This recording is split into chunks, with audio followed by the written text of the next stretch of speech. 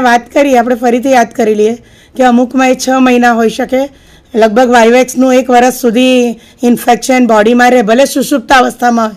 તમને એમ થાય કે તાવ મટી ગયો.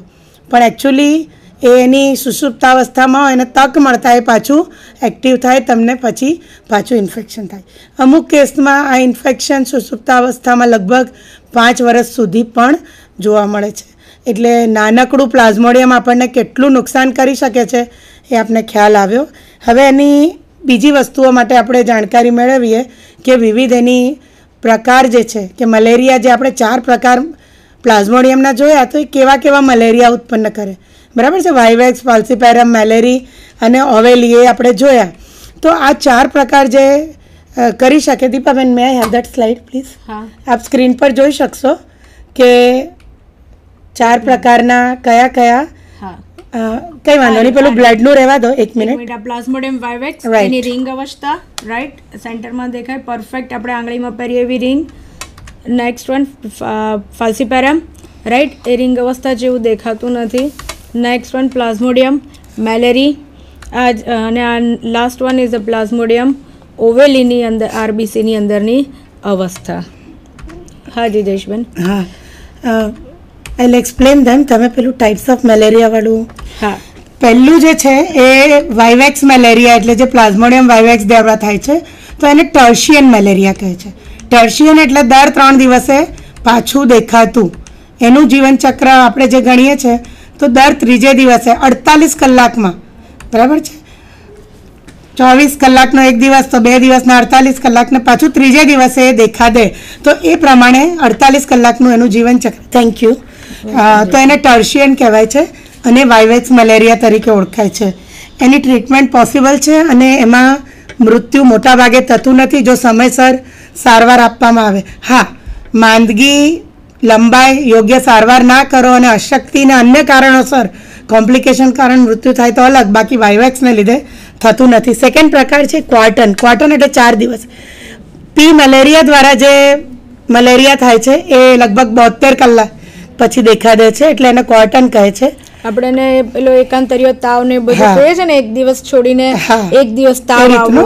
અને મોટા ભાગે મોટી ઉંમરના લોકોમાં ચાલીસ પછીમાં જોવા મળે છે. બાકી યંગસ્ટર્સ એની ઇમ્યુનિટી ડેવલપ કરેલી હોય છે એટલે બહુ વાંધો નથી નથી આવતો. આ પણ ઘાતક નથી. ત્રીજું જે છે ઓવેલી અથવા માઇલ્ડ ટર્શિયન માઇલ્ડ ટર્શિયન આ પણ ટર્શિયન હોવાને લીધે દર ત્રીજે દિવસે દેખા દે છે. આ પણ ઘાતક નથી. આફ્રિકન કન્ટ્રીઝમાં જોવા મળે છે. અને બહુ હાર્મફુલ નથી.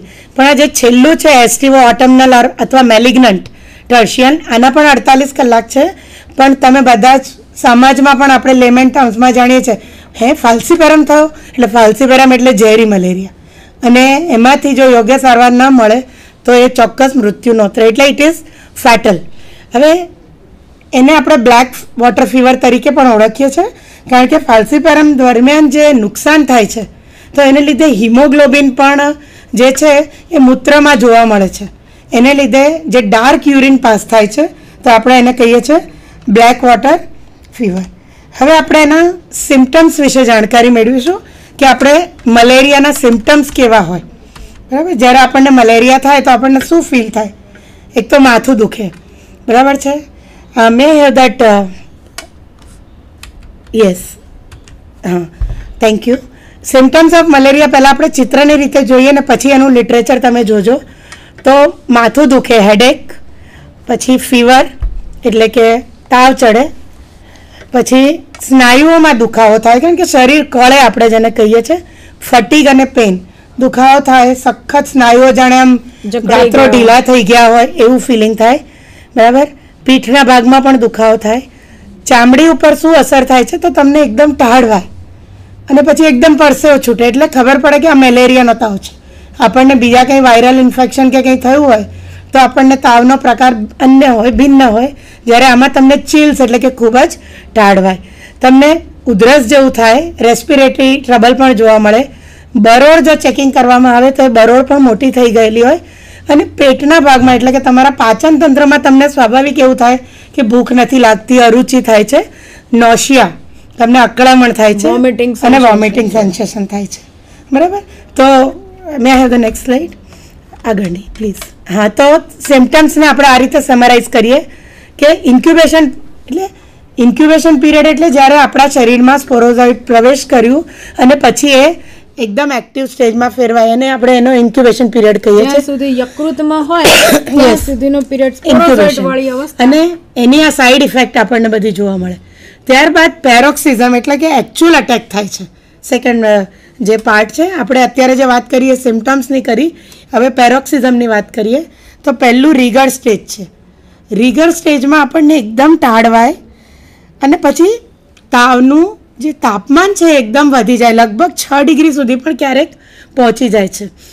એની સાથે, મલેરિયાની સાથે આ હિમોગ્લોબિન જે બ્રેકડાઉન થાય છે, એને લીધે એચબીનું કે હિમોગ્લોબિનનું પ્રમાણ ઘટી જાય છે. અને એને લીધે અનિમિયા નોર્મલી જોવા મળતી સાઈડ ઇફેક્ટ છે. બરાબર છે? અને જે ડિફર્વેસન્ટ સ્ટેજ છે, ઠંડી વાયા પછીનો જે સ્ટેજ છે, એ સ્ટેજમાં શું થાય છે કે જ્યારે સાયકલ આગળ ચાલતી હોય ત્યારે એક બાયોલોજિકલ ક્લોક ફોલો કરે છે. બપોરના ચારથી બાર જનરલી આ સર્વે ટાઈમિંગ્સ બતાવે છે કે બપોરના ચારથી બાર એ સમય દરમિયાન ફીવર હોય છે. પછી એકદમ ઉતરી જાય છે અને સવારના ચારથી આઠ. એ સમય દરમિયાન એ ફીવર ઉતરી જાય છે ને પછી પાછું રિકરન્સ થાય. તો એ ફરીથી પુનઃ જોવા મળે છે. આમાં મને એક મિનિટ તમને ઇન્ટરપ્ટ કરી. કેવું છે કે એનો આપણી પાસે હમણાં ગ્રાફ પણ છે. આપણે જોઈએ કે આ ઇન્ક્યુબેશન પીરિયડ એની સ્પોરોઝોઇટ વાળી અવસ્થા છે. ત્યાર પછી એ યકૃતમાં થતી હોવાથી પાચન માર્ગના લગભગ બધા અંગો પર એની અસર આપણને જોવા મળે કે ક્યારેક એને જ કારણે પાચન ના થયું હોય અને બધું બહાર આવતું હોય એવું સેન્સેશન થાય એને નોશિયા તરીકે ઓળખવામાં આવે. ત્યાર પછી એનું આપણને ખોરાક શરૂઆત એમ થાય કે આપણને ભૂખ નથી લાગતી. તો વિદ્યાર્થી મિત્રોને પણ એ જણાવવાનું કે આ બધા તમે જે ભણો છો એનું કારણ ઇન્ફેક્શન હોય શકે. એનું કારણ તમને ભૂખ નથી લાગવી કે કબજિયાત જેવું થવું અને માથું દુખવાની શરૂઆત કયા કારણથી થાય છે તો આ પણ એક કારણ છે કે આપણે ચેતી જઈએ કે ભાઈ આપણને આટલા આટલા જો લક્ષણો થોડા ઘણા દેખાય તો આપણે માનીએ કે આપણને પ્લાઝ્મોડિયમ વિવેક્સની અસર થયેલી છે અને આગળ આપણે જોયું કે ભાઈ આ બધી એની જ્યારે અસર થઈ જાય છે એટલે કે આરબીસી રક્તકણ ઉપર આપણે રક્તકણની અંદર એનું અલિંગી જીવનચક્ર આખું જોયું એ રક્તકણ ઉપર જ્યારે અસર કરે તો સ્વાભાવિક છે હમણાં આગળ પણ મેં કીધું કે કોઈ એક રક્તકણ ઉપર અસર નથી કરતું એ એક સાથે શરીરના ઘણા બધા રક્તકણો ઉપર કણો ઉપર અસર કરે છે એટલે જ્યારે બધા રક્તકણ જ્યારે નાશ પામે અથવા તો. હા ત્યારે સ્વાભાવિક છે કે આપણા શરીરમાં એનેમિયા એટલે કે શરીર પીળું ફીકું પડી જાય. અને આપણામાં જે પણ તાકાત શક્તિ હોય એ અશક્ત લાગે. આપણે એકદમ અશક્તિ અનુભવીએ. અને જો ત્યારે પણ ટ્રીટમેન્ટ ના કરવામાં આવે આપણે એને એમ કહી શકીએ ભાઈ આપણે જાગી ના જઈએ કે મને આવું કંઈ થાય છે? તો એ કમળા અથવા તો જોન્ડિસ સુધીના રોગ સુધી દીપાબેન હું જોન્ડિસનો ઉલ્લેખ કરવાની જ હતી. કારણ કે જ્યારે હિમોલાઇઝ થાય છે અથવા આરબીસીસ જે. ડિસ્ટ્રોય થાય છે તો એમાં લાઇસોલેસિથિન નામનું એક તત્વ છે જે લાઇસ થવું એટલે તૂટવું. તો જે. આરબીસીસ તૂટી જાય છે તેના લીધે શું થાય છે કે આરબીસીસ તૂટવાને કારણે લાઇસોલેસિથિનની એક્શનને કારણે આરબીસીસ તૂટે છે. બીજું એક હિમોલાઇસિન પણ ઉત્પન્ન થાય છે જેના લીધે પણ આરબીસીસ તૂટે છે. એટલે સ્વાભાવિક છે કે આરબીસી નું પ્રમાણ ઘટે છે. છે. અને આ ઘટેલું પ્રમાણ જોન્ડિસ થવા માટે જવાબદાર છે. એટલે મલેરિયા સાથે સાથે તમને અનિમિયા તેમજ જોન્ડિસ પણ જોવા મળે છે. બરાબર? હવે આપણે કંટ્રોલ ઉપર જઈએ. કારણ કે આટલું બધું મલેરિયા આપણને નુકસાન કરે આપણને રોગ થાય તો એ તો ચલાવી ના લેવાય. આપણે દરેક વખતે સારવાર કરવી જ પડે. પણ સારવાર ટ્રીટમેન્ટ માટે જઈએ પહેલા આપણે એના કંટ્રોલ માટે જઈએ એ ફરી પાછું હું એમ જ ઉમેરું કે એ બી કોઈ એક વચનમાં કોઈ એક વ્યક્તિને નથી થતો. હતો. એ બી એપેડેમિકની જેમ બધે સ્પ્રેડ થતો ચોમાસું આવે એટલે તરત શરૂ થઈ જાય કે માણસને મેલેરિયા થાય છે. અને એકને નહીં સમૂહમાં એક સાથે એ એરિયામાં આખું અસર થતી હોય છે. એટલે એ તો બિલકુલ જ ચલવી ના એટલે એમાં શું કે મચ્છરનું જીવનચક્ર તોડી પાડો ક્યાં તો પછી મેલેરિયા થાય નહીં કારણ કે તો સ્પોરોઝોઇટ આપણામાં એન્ટર જ ના ના થાય, રાઈટ તો કંટ્રોલ કેવી રીતે થાય છે તો આપણે જોઈએ કે ત્રણ પ્રકારે આપણે કરી શકીએ છીએ. એક છે પહેલું આપ જોઈ શકો છો એલિમિનેટિંગ ધ વેક્ટર જે ફિમેલ એનોફિલસ હવે મોસ્કિટોમાં આપણે ચેક ના કરી શકીએ નરી આંખે કે આ ફિમેલ છે કે મેલ એટલે બધાનો જ નાશ કરવો પડે. એટલે વેક્ટર એટલે વાહક. મલેરિયાના જે જંતુઓનો વાહક સ્પોરોઝાઇટનો આપણા શરીરમાં વાહક છે તેનો જ આપણે નાશ કરીએ તો એ કહેવાય એલિમિનેટિંગ ફેક્ટર પછી બીજું છે ભાઈ પ્રિવેન્ટિંગ ધ ઇન્ફેક્શન ચલો આપણા શરીરમાં આવી ગયું. હવે આવી ગયા પછી શું કરવાનું? તો આવી ગયા પછીના આપણે જે આગળ પેલા કરી શકીએ. આપણે ગુજરાતમાં તો મિત્રો સુદર્શન ને બધું અપાવે. એમાં એન્ટી મેલેરિયલ તત્વો હોય છે. તો એને પ્રોફાઇલ એક્સેસ કહે છે કે અંદર આવી ગયું તો એનું ઇન્ફેક્શન આપણને ના લાગે. અથવા એને અગાઉથી આપણે ચેતી જઈએ એનું પ્રિકોશન લઈ લઈએ. અને ત્રીજો પ્રકાર છે કે ઇન્ફેક્શન થઈ ગયું સપોઝ આપણે એને પ્રિકોશન લઈ નહીં શક્યા તો એની ટ્રીટમેન્ટ કરવાની. બરાબર છે? તો હવે આપણે વન બાય વન જોઈએ જે પહેલું ફેક્ટર આપણે જોયું કે એલિમિનેશન ઓફ વેક્ટર તો એના જે છે બાય ડિસ્ટ્રોઈંગ એડલ્ટ મોસ્કિટોઝ બરાબર? મચ્છર આપણને દેખાય. ક્યાં દેખાશે? તો દીપાબેને જે વાત કરી કે વરસાદમાં ખાસ કરીને નદી નાળા ખાબોચિયામાં તો પાણીવાળી જગ્યા એને. મોસ્ટ અનુકૂળ છે.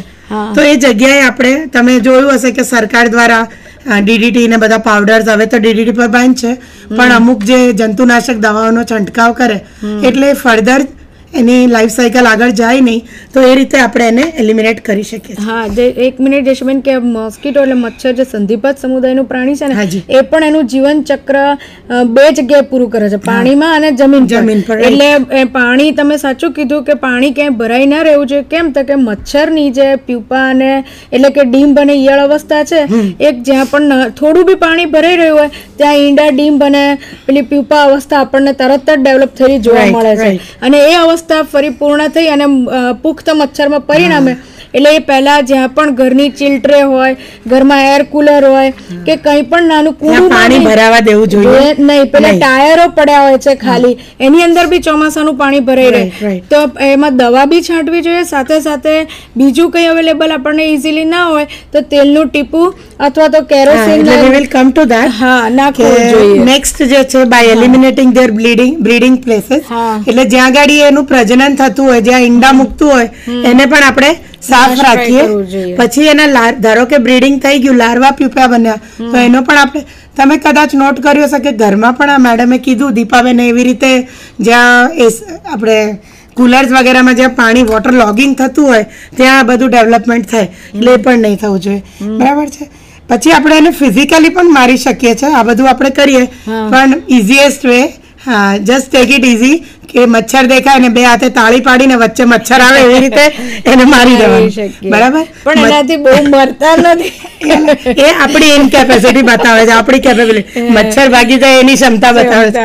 ઇઝ બેટર આપણે ખોટી અહંકાર બતાવીએ કે આપણે બહુ મહાન. વર્ગના મહાન પ્રાણી ત્યારબાદ એની જાળીઓ પણ આવે છે. તમે રેસ્ટોરન્ટ વગેરેમાં જોયું હશે પર્પલ કલરની લાઇટ વાળી જે મચ્છરને અટ્રેક્ટ કરે ને એને મારે. પછી ફ્યુમિગેશન પણ બહુ કોમન છે. આપણને શ્વાસ લેવામાં બી તકલીફ પડે. પણ જે કેમિકલ વાળા જે મોટા ભાગે ડામરની ગોળીઓના ને એવા બીજા કેમિકલ્સના ધુમાડા ધુમાડા વગેરે સ્પ્રેડ કરીને લોકો કરે છે. સ્પ્રેઇંગ પણ કરે છે.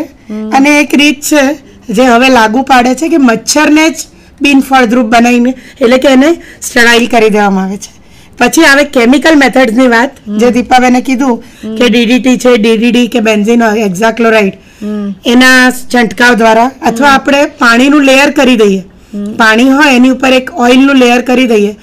તો ઓઇલને લીધે શું થાય કે હવામાંનો ઓક્સિજન પાણીમાં ભળે નહીં.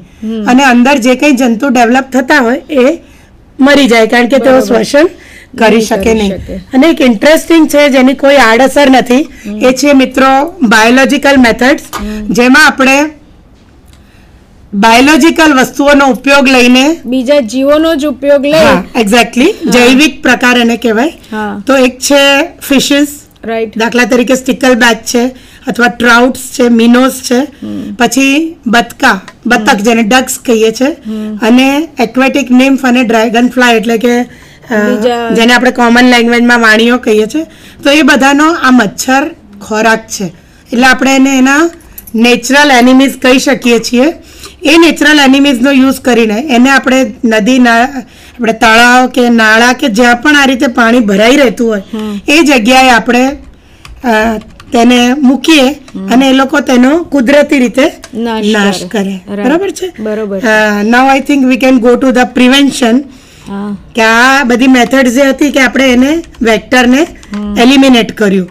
વેક્ટર્સને એલિમિનેટ કરીએ તો સેકન્ડ તબક્કો આવે છે પ્રિવેન્શન ઓફ ઇન્ફેક્શન તો ડિફેન્ડિંગ મોસ્કિટો બાઇટ્સ એટલે શું કે મચ્છર આપણને કરડે જ નહીં એની તકેદારી રાખવી જોઈએ. મચ્છર કેવી રીતે ન કરડી શકે? તો પહેલાં તો આપણે મચ્છરદાનીનો ઉપયોગ કરીએ. ઘર થોડી ઊંચી જગ્યાએ બાંધીએ જ્યાં મચ્છરો નોર્મલી લો લેવલ પર ઉડતા હોય છે. બરાબર છે? પ્રોફાઇલેટિક ડ્રગ્સનો ઉપયોગ કરી શકીએ આપણે. સ્વચ્છતા પણ બહુ જરૂરી ચોક્કસ ચોક્કસ. પ્રોફાઇલેટિક ડ્રગ્સ એટલે quinine is the best remedy એવું કહેવાય છે. તો મલેરિયાને દૂર રાખવા માટે આ બધી વસ્તુઓનો આપણે ઉપયોગ કરી શકીએ. બીજું કે હવે તો જંતુનાશક ક્રીમ ને બધું આવે છે ઓડોમસ વગેરે જે એકચ્યુઅલી મોસ્ક્યુટો રિપેલેન્ટ્સ કહેવાય છે કે જેની સ્મેલથી મોસ્ક્યુટોઝ જે છે એ હા. જેની સ્મેલથી મોસ્ક્યુટોઝ જે છે એ દૂર જતા રહે. મોસ્ક્યુલો રેપેલેન્ટ્સ બરાબર છે? ત્યારબાદ તેના ટેસ્ટ કરીને પણ આપણે એનો ટેસ્ટ કરીને પણ આપણે એનો જે કન્ફર્મેશન છે એ લઈ શકીએ છીએ એ છે ઇન્ડાયરેક્ટ હીમ એગ્લુટિનેશન એટલે આઈએચ એ આઈએફ એ એટલે ઇન્ડાયરેક્ટ ફ્લુરસન્સ એ હાઈફાઈ ટેકનિક્સ છે. અને એક છે એલાઇઝા ટેકનિક જે રેડિયો એક્ટિવ એન્ઝાઇમ લિંક છે.